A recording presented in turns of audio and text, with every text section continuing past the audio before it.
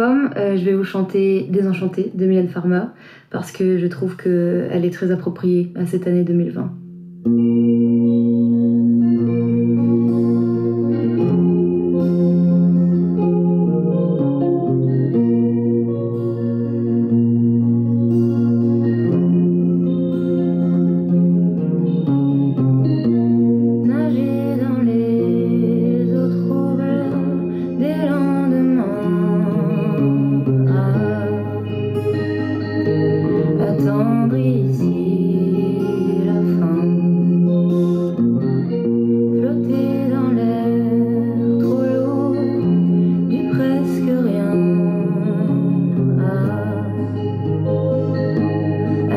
don't know.